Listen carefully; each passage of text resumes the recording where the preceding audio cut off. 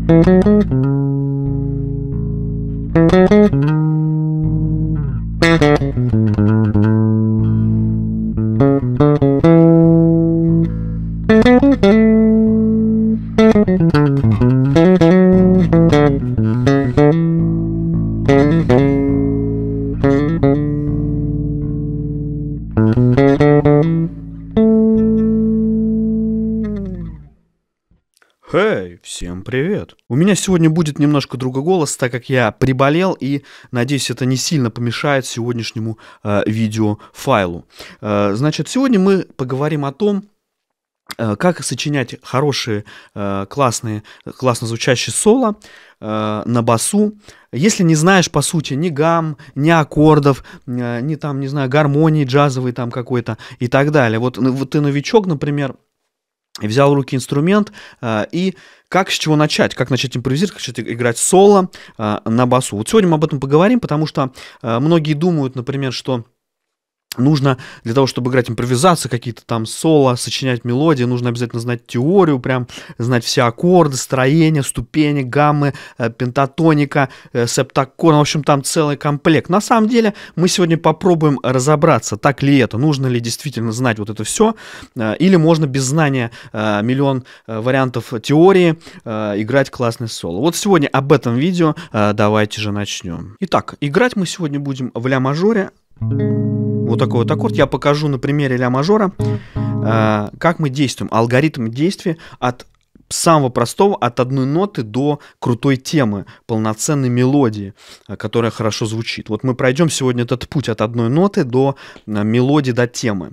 Мы возьмем аккорд ля, я решил взять его, потому что, чтобы мне можно было с открытой струной работать, чтобы было видно, как оно звучит. Смотрите, значит, мы, допустим, мы в аккорде ля мажор, я могу взять открытую. А, первый шаг нам надо выбрать первую ноту, с чего мы начнем. И здесь не нужно думать, можно просто выбрать ту ноту, которая вам нравится. Ну, например, я выбрал вот эту ноту. Мы выбираем вот эту ноту на слух. Мы ориентируемся только на свои уши. Мы не думаем, какая-то ступень, какая-то что, пятое, десятое. Мы на... играем на слух. Допустим, мне нравится вот звучание, как этот интервал звучит. Дальше мы берем вот эту ноту, которую мы выбрали, э, доверяя своим ушам, своему инстинкту, своему, своей интуиции, мы строим еще две ноты вверх. Ну, например, я могу построить вот так. Звучит же, звучит. Я могу построить вот так. Тоже вариант. Я могу построить вот так.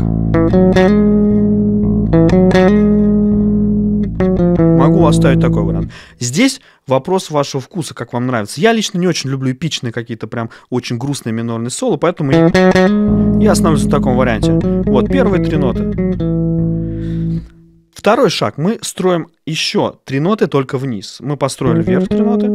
И теперь пытаемся построить то же самое, только вниз. Как нам нравится, как мы, доверяя своему инстинкту. Можно взять так, можно взять так, можно взять так, неважно. Вот я беру вверх, мой паттерн, и пробую еще три ноты. Могу вот так, если хорошо звучит, да, согласитесь. Могу вот так. Тоже хорошо звучит. Давайте вот этот вариант оставим. Да, я могу оставить вот этот. У вас получится свои варианты. Это зависит от вашего вкуса музыкального, от ваших ушей. Вы выбираете свои варианты ноты. То есть у нас получилось два паттерна. У нас получилось два бокса. А, три ноты вверх, ну, две, да? То есть, ну, бокс три ноты вверх и бокс три ноты вниз. Я играю открыто, чтобы было понятно, да, что мы в ля находимся.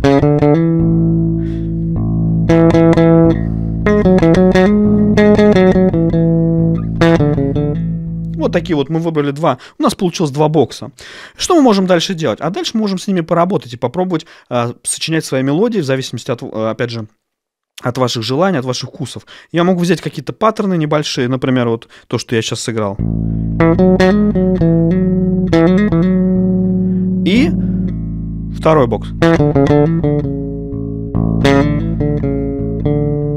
Опять первый бокс.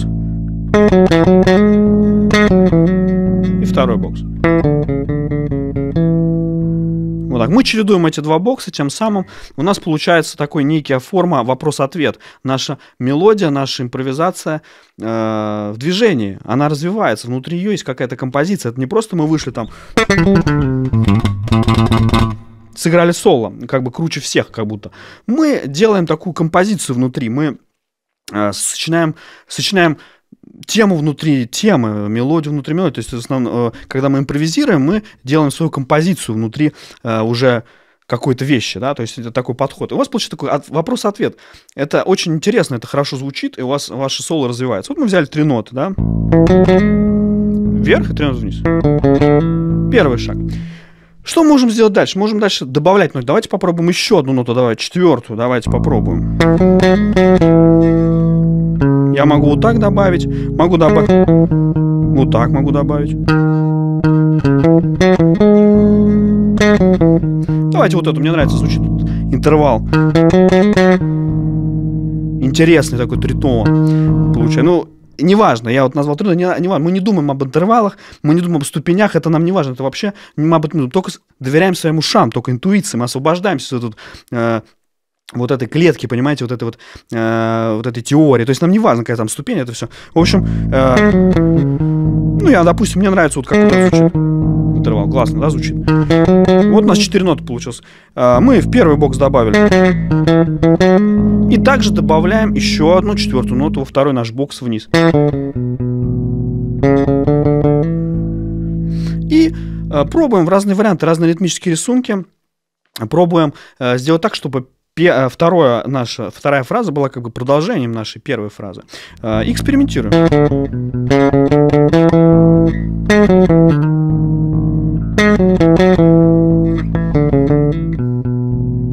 Ну, прикольно.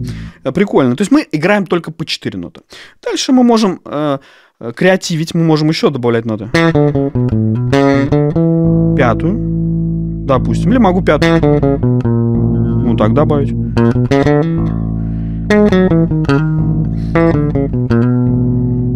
Либо могу э, добавить вот сюда. Вот так, допустим. 5 нот и сюда 5 нот.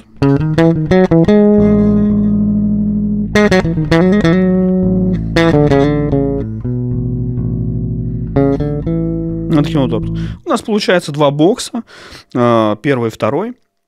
И также мы добавляем и шестую, и седьмую. У нас может получиться полный такой бокс. Допустим, вот такой. Раз, два, три, четыре, пять, шесть, семь нот. И здесь. Допустим, здесь. Или такой.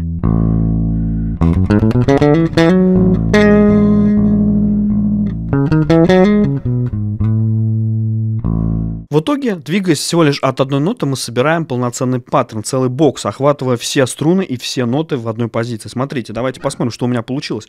К примеру, наш первый, первый бокс я могу его вот так оформить. Могу вот так.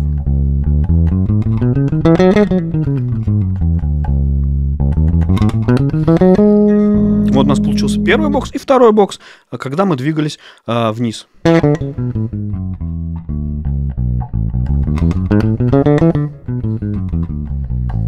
Вот такой вот. В итоге получилось два интересных э, бокса, э, э, именно опираясь на слух. К примеру, вот этот вот интервал у меня получился, как будто бы, если бы я думал а-ля мажоре, например, я бы взял бы гамму, да, сыграл. Вот так и все. У меня бы эта нота не, не попала бы в ля мажор, к примеру. Вообще ее бы не было. То есть я уже себе рамки поставил, я уже себя ограничил. А э, э, доверяя своим ушам, понимаете, доверяя своей интуиции, я нашел эту ноту, которая прикольно звучит, необычно, не ладово прям. Вот ля мажор обычный. Как вот эту ноту обнаружить? Вот именно таким подходом. Вот таким вот образом. Можно выбирать на самом деле абсолютно любую ноту, это не важно, какая там тональность, какая там гамма, это особо не важно. Э, главное э, Тут опыт. Потренироваться, и вы почувствуете, когда, в какой момент, какие ноты, э, на какие лучше сделать акцент, какие ноты лучше звучат, какие ноты хуже звучат, какие ноты использовать как проходящие, какие основные и так далее. Это слышно. Это просто нужно потренировать, и со временем у вас вот это э, чутье появится, вот этих крутых звучащих нот. В итоге, двигаясь всего лишь от одной ноты, у меня получилась полноценная мелодия, полноценная тема для композиции, которая можно, так сказать, уже даже аранжировку делать, набирать музыкантов, и будет прикольная мелодия, классная тема. Смотрите, что у меня получилось.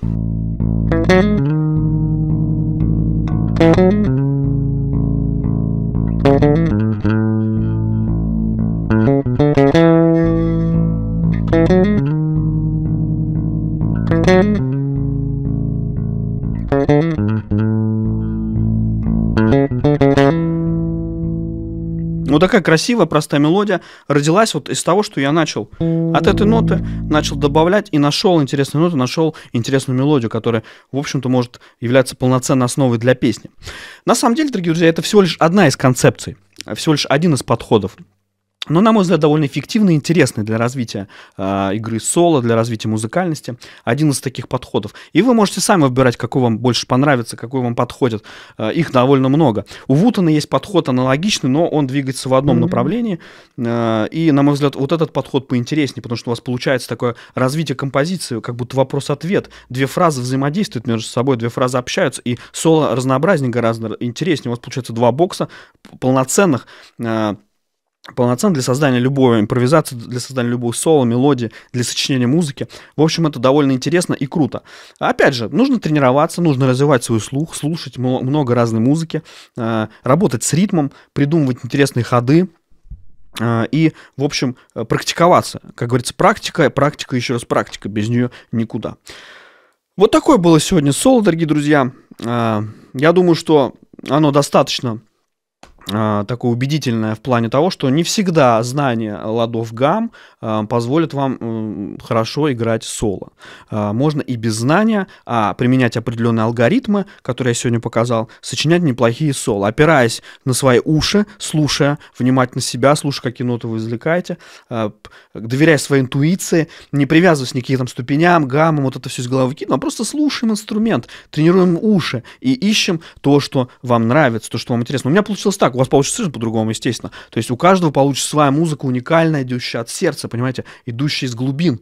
Вот. И это, конечно, круто. Это и есть сущность творчества. Это и есть э, музыка, музицирование. В общем, попробуйте. Очень классный подход.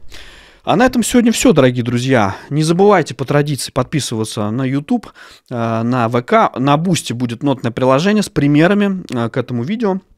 А, с табами можете посмотреть, какие варианты поиграть. А, там уже, как бы, если хотите углубиться, а, то, что у меня получилось, все в нотах оформлено. Обязательно проходите на Boosty, подписывайтесь, тоже очень важно для моего канала.